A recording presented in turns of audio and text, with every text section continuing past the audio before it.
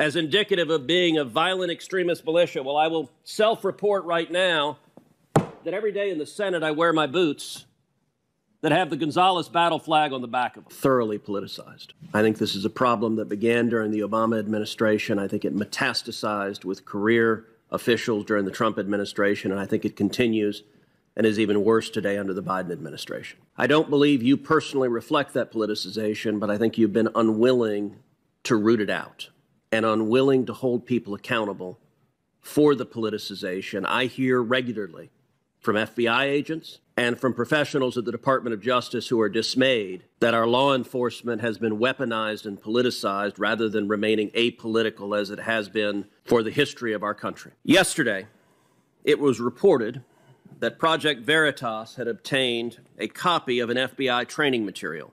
And just so you guys know, this video comes from Gunlean, Gunlean um, Mex, Met Bexy. The link for this video will be below in the descriptions, just in case you want to go check it out yourself. Which listed various symbols and themes, which, in the FBI's estimation, were indicative of, quote, militia violent extremism. Now, these symbols weren't things like the Ku Klux Klan or the Nazi Party, which naturally would be symbols of that, but instead they included, rather astonishingly, patriotic symbols of our nation and our history. Included on this list is the Betsy Ross flag. Now, that's fairly remarkable that the Betsy Ross flag in the FBI's indication is indicative of violent, uh, militia violent extremism, because among other people who have been publicly alongside the Betsy Ross flag, we have President Barack Obama, who was sworn in directly underneath two Betsy Ross flags. But it's not just President Obama. Mm. We also have President Biden, who was sworn in under Betsy Ross flags. Hmm. It's not just the Betsy Ross flag. Also on this list is the Gadsden flag as a symbol of violent extremism. Now, the state of Virginia has a license plate for the Gadsden flag, as do many other states. Wow, I did not know that. Learn something new every day. I just know. Wow, okay. I think people would be astonished to find that having that license plate, the FBI indicates that you're a violent extremist. Also included on this is a text that I was particularly struck is the Gonzales battle flag. Come and take it as indicative of being a violent extremist militia. Well, I will self report right now that every day in the Senate I wear my boots that have the Gonzales battle flag on the back of them. Director Wray, what are y'all doing? This makes no sense. Do you, do you agree with this FBI guidance that the Betsy Ross flag and the Gadsden flag and the Gonzales battle flag are signs of militia violent extremism? Well, Senator, I, am not familiar with the particular document you have behind you, uh, and I'm not in the practice of trying to comment on documents that I haven't uh, recognized. But I will tell you that when we put out intelligence products, including ones that reference symbols, which we do across a wide variety of contexts, we usually uh, make great pains, take great pains to put uh, caveats and warnings in the document that make clear that a symbol alone is not considered evidence of violent extremism, uh, and it's well. But Director Wray, you don't include things like Antifa. You don't include things like Black Lives Matter. Instead, you identify patriotic Americans as suspects. And I would note there's a pattern of this. As you're aware, the National Association of School Boards asked the Attorney General to investigate parents as domestic terrorists under the Patriot Act. Now, it did so because it was upset about moms and dads coming to school boards and disagreeing with the policies of those schools. Five days after that letter, the Attorney General sent a memo to you directing the FBI to target parents for investigation.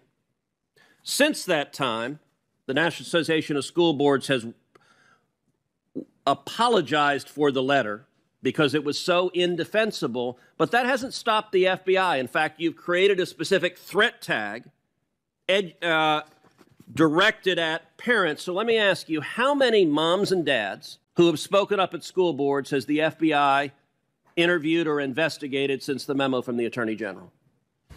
Well, first off, I'll say I'm not aware of any. But second, let me address the issue. You're not aware of any? Like the House of Representatives me, has you, written you and asked you, you would let me, If you would let me. So please finish, answer. Please. Uh, let me say to you and to this committee the same thing I said to every FBI field office after I read the memo, which was that the FBI is not going to be in the business of investigating speech or policing speech at school board meetings or anywhere else, uh, and that we're not about to start now, that threat violence threats of violence, that's a different matter altogether. And there we will work with our state local partners as we always have. So, Director you asked Wray, about Director, about- Director Wray, our time is. Are, do you know how many parents you have interviewed or investigated since that that memo?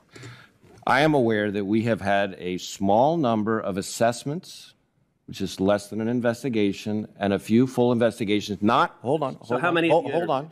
Hold, let me finish. I, I'm just. I'm asking a question. That time is limited. I don't know the number, but that not necessarily. but- well, well, but uh, wait, let me finish. That are not necessarily of parents. We have individuals who have made threats against a variety of people. Sometimes school board officials, sometimes other Okay, people as Director well. Wray, I, I will point out the House of Representatives has sent you oversight letters detailing dozens of investigations under a threat tag directed at parents, parents, moms, and dads who G-men have come in because they spoke out against mask mandates or vaccine mandates or critical race theory, and suddenly the G-men show up. And this was after the Attorney General claimed it wasn't happening. And so the pattern, sadly, we've seen you say you don't know how many there are. The follow up will be I'll send you a letter, and you'll send back a letter that says I refuse to answer it. Let me Now, these this is a congressional hearing, right? I used to see these come on, and I used to see them on the internet as well. And I used to be like, man, these joints look boring as hell. Like, I don't like these. Now I can watch these joints all day long because you actually see people being held accountable for their parts and whatever they're discussing. Whatever they're discussing. Um, Director Wray seems to be, although y'all might not agree with him, um, one thing he is doing is at least he's trying to answer the questions, or he's speaking up in his own way, where he's probably hiding the answers to the questions that that's being asked.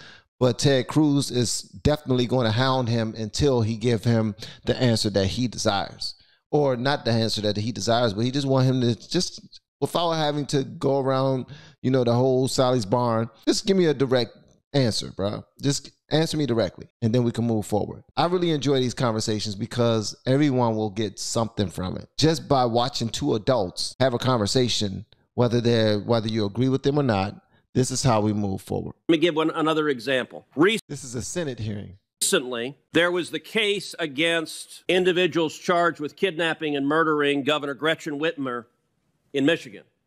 That case ended up an absolute debacle where the four people who went to trial, two of them were acquitted, two received mistrials. None of them were convicted on even a single charge, and the basis of the defense was entrapment that the FBI, that paid enforcements for the FBI, had suggested and had incited the conduct. Let me ask you how many FBI agents were disciplined or reprimanded after that disastrous case and the misconduct that led to every defendant being acquitted or having a mistrial on every charge? None, not a damn one. I'm sorry. Let um, Director Wray answer this one. Uh, Senator, I can't comment on a personnel matter. I can tell you that that case, as I understand it, is now pending a, uh, a retrial, as I understand it. Well, the special agent in charge of that case has now been sent to D.C., to the Washington, D.C. office, and now leads the investigation regarding January 6th. Is that correct? That doesn't sound right to me. That does not sound right. The, the, the name of the individual is Steven D'Antuono. He was, it was run out of the FBI Detroit field office. And by the way, I will point out that the lead investigator, Special Agent Trask, are you aware that he was apparently fired for allegedly beating his wife after coming home from a swingers party and he'd made multiple derogatory political posts Whoa, what? He came home and beat his wife after coming from a swingers party. How in the hell? What type of freaks are we? Not that there's anything wrong if you and your wife want to bring more, because the, the Bible says the bed should not be defiled. Nah, listen, that's sin. Y'all sinning like hell. But I'm just gonna say this: they're gonna freaks y'all going to swingers parties, and then don't beat your damn wife if you're going to a swingers party, bro. Like Shouldn't the swingers party get all of that extra energy out of you?